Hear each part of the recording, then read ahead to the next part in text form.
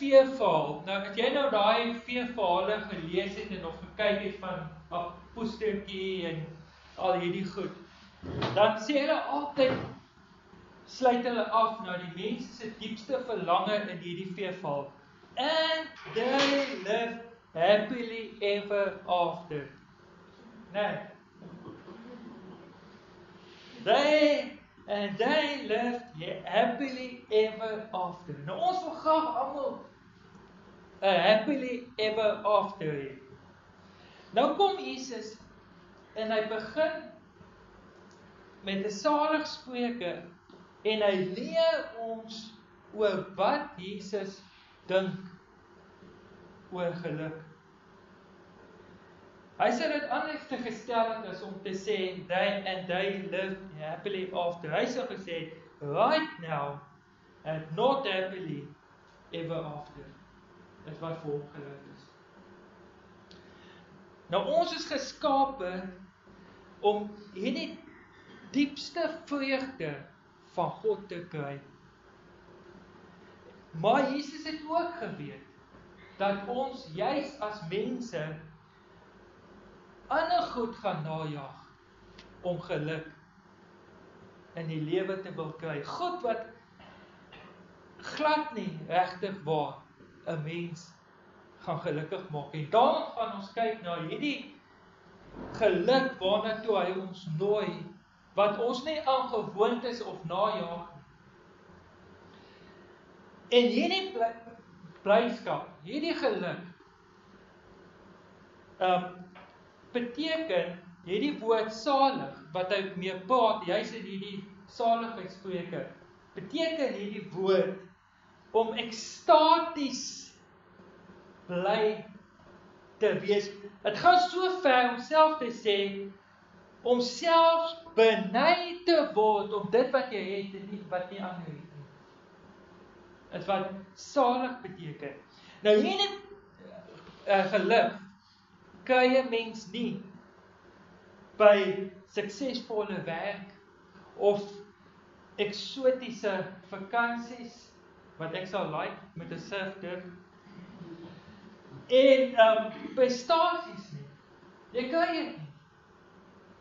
Maar jy kry dit op die vreemdste plekke en dit is waar Jesus praat. In trane, in armoede, in honger en in dors. In plekke wat ons nie kan vermy nie. En daarom kyk ons vandag af wat hy sê om afhanklik te wees. Net die Bybel sê daarso en dit is ons skrifgedeelte vandag. En ons begin daarmee.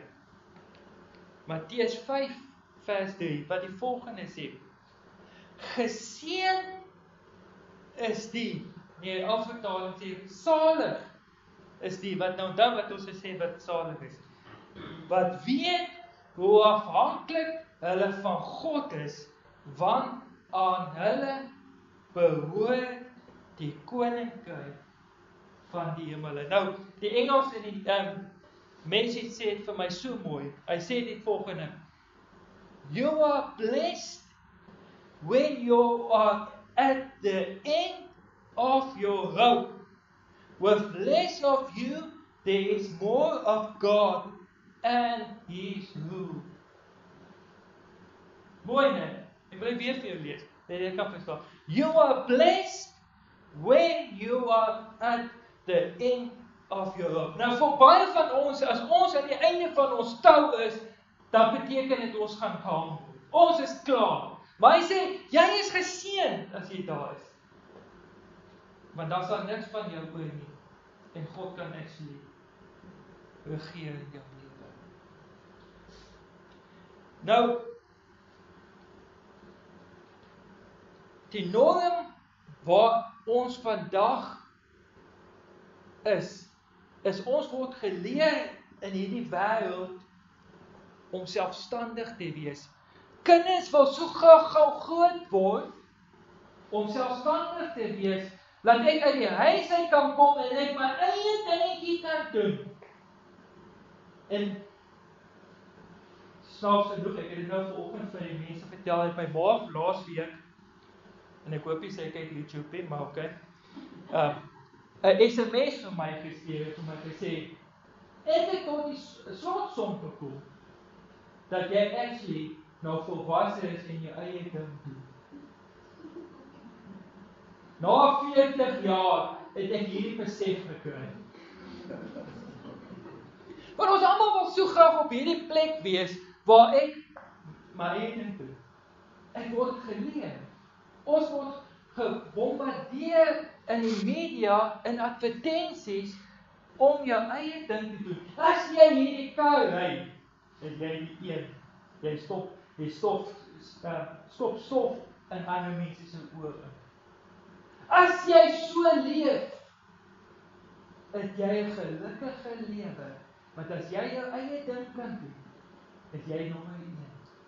Nou ou kom en hy skryf 'n gedig En die eh, die ou wat die gedig se naam was William Ernest Henley.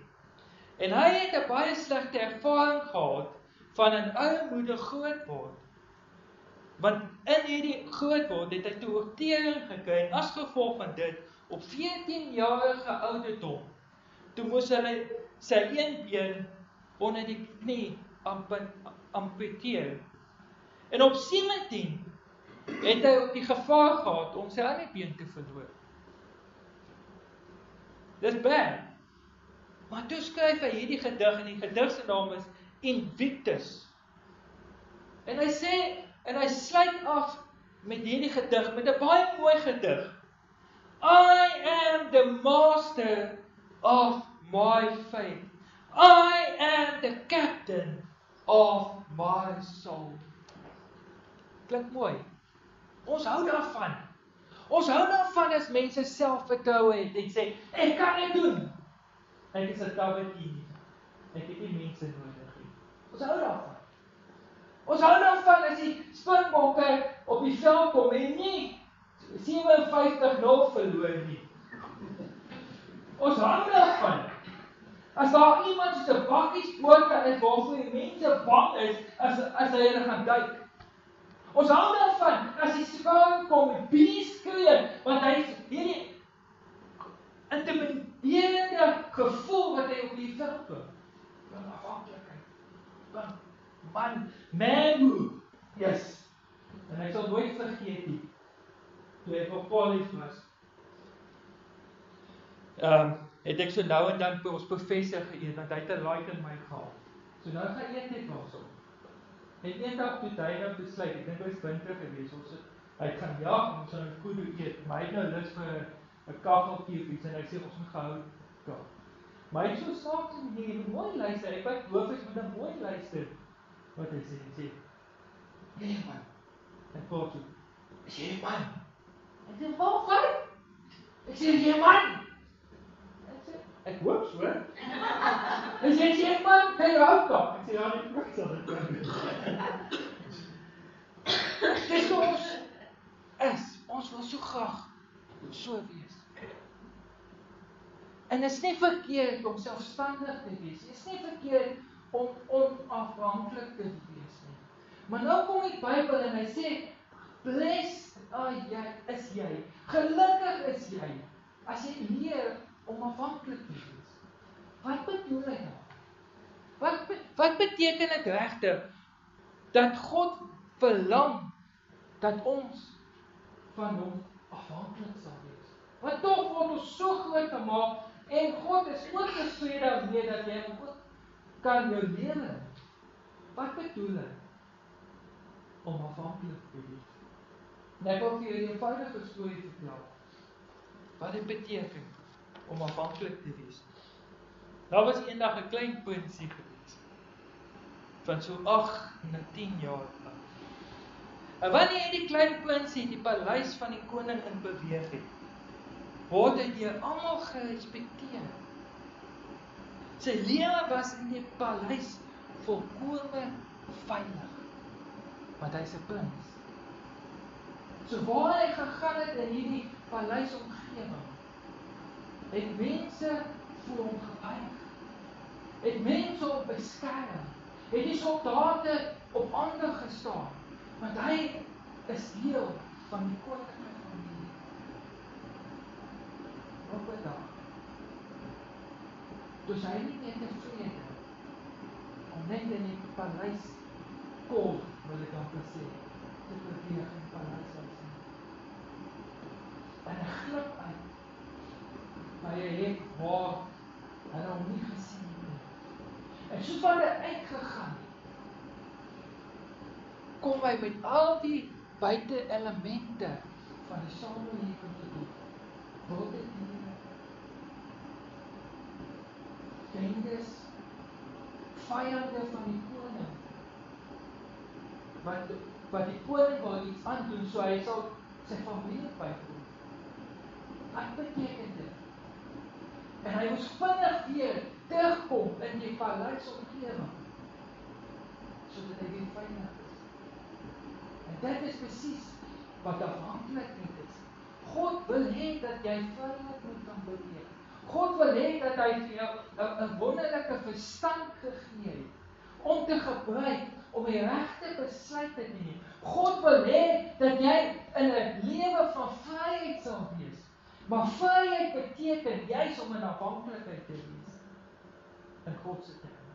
En dit beteken jy is 'n kind van God, maar jy moet in die boundaries van kind van God, koningskind van God inbeweeg in sy afhanklikheid. Jy moet erken dat hy 'n vryheid in jou lewe het. Jy moet erken dat hy die mag oor jou lewe is. Dat wanneer jy besluite neem en wanneer jy beweeg, jy nie op jou eie sal uitbeweeg en op jou eie dinge sal doen nie en op jou eie sal geëksplore nie, maar in die teenwoordigheid, in die veiligheid, in die mag, in die gesag en die krag van die koning sal uitbeweeg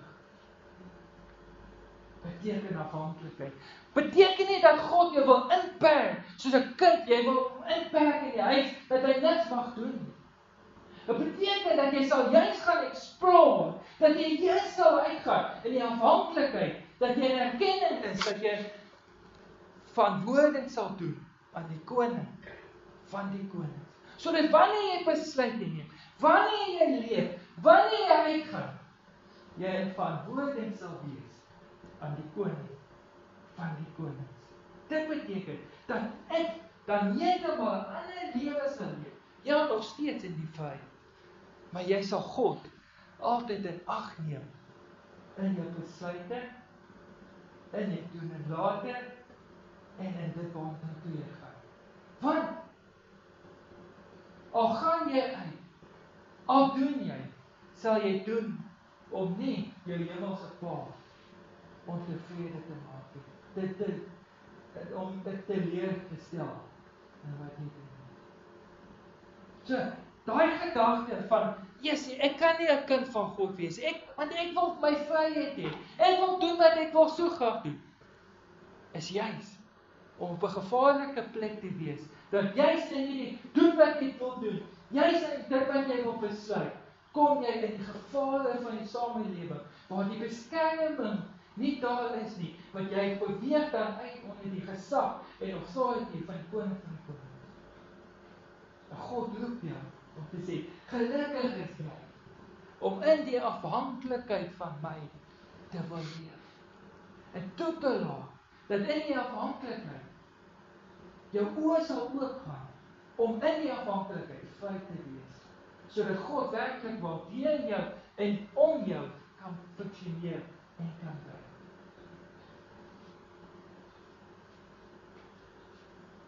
So, geseënd is die wat weet hoe afhanklik hulle van God is.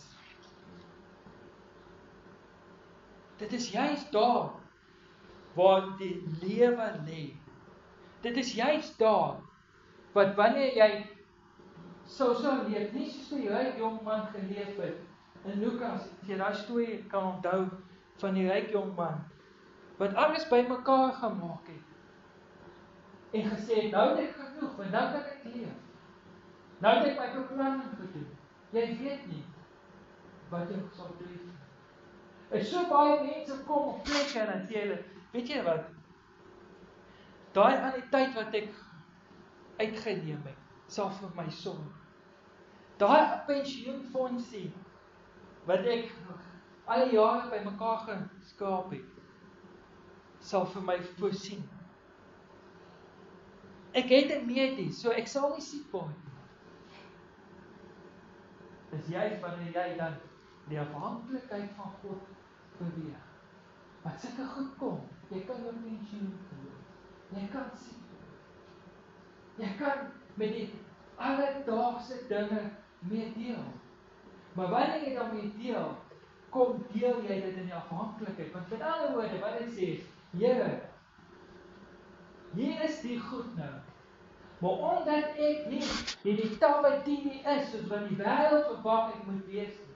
Omdat ek nie al kloot op is met al die antwoorde van oplossings nie, is ek in onder u autoriteit en ek kom in afhanklikheid na u toe om met my saam 'n pad te stap sodat ek kan verstaan en met al die goed wat op my pad kom kan deel want ek wil dit nie hanteer alleen hanteer nie want hoekom? Ek 'n koningskind is. Ek saam met die koning se autoriteit bring hy vir my die um, oplossing bring hy vir my die verlossing bring hy vir my die genodige krag om hierdie sake wat oor my pad kom te hanteer. Want daai seentjie toe hy uitbeweeg het daar uh, buitekant sy pa se grense Toe hy hierdie goed kom, was dit nog steeds die punt en hy kom teruggaan en die autoriteit en die krag van sy pa gaan oproep en gaan opsoek. So dat wanneer hy toe kan uitgaan, hy met die regte verstandhouding en met die regte verhouding kan kom uitgaan, want dan het hy verstaan die seël waarmee hy rondgeloop het, die koning se seël. So dat wanneer hy by 'n plek gekom het En en mense op gesien het, het hy die siel gewyd en mense het verstaan, hy is in die afhanklikheid van sy Pa. En so kom God en hy roep vir my en vir jou in afhanklikheid met die siel met waarmee ons toegemaak het. En wat is die siel? Jesus. En die siel word bekragtig deur die Heilige Gees. So dat wanneer jy op plekke kom en jy wys die seël, word dit bekragtig, word dit aangepaard deur die Heilige Gees om te sê, "Maar dit is bekragtig deur die dood van Jesus Christus." En daarom gaan hierdie kind uit in die krag van God en hy sal dieselfde krag saam met hom dra wat Jesus uit die dood uit opgestaan, laat opstaan. Kan jy nou verstaan wat afhanklikheid beteken? Kan jy nou verstaan dat ons nie in 'n towe stooi beweeg nie, maar dit ons elke dag in geluk beweeg omdat ons 'n koningskind is afhanklik. Dan wil jy vir nooit van maak. Waar kan jy nou in sit? Miskien het jy uitbeweeg. Kon dit die gesag, die afhanklikheid dat jy weer sal terugkom sê jy ek kom bly na afhanklike van die dat ek weet dat ek niks op my eie kan doen dat ek weet jy dat besluite wat ek neem. Dinge wat ek moet aanpak dat dit nie sal wees. Dat ek ingeperk is nie Want weet julle wat ek ek ek was by 'n groep en ek wil net so vir julle verduidelik dat hierdie groep is so erg dat hulle self sê dat klein dingetjie wat hulle moet besluit. Hulle moet hulle God raak. Ek wil sê God gee vir ons die grasie die autoriteit om self ook dinge te besluit.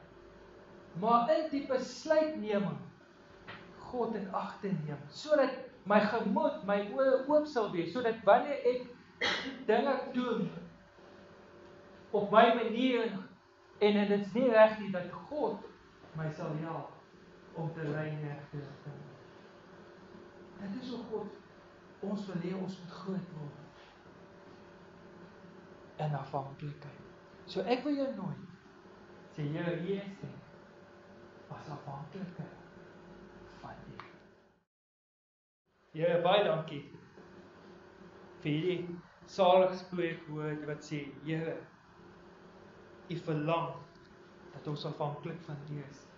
Help ons om afhanklik te word van U.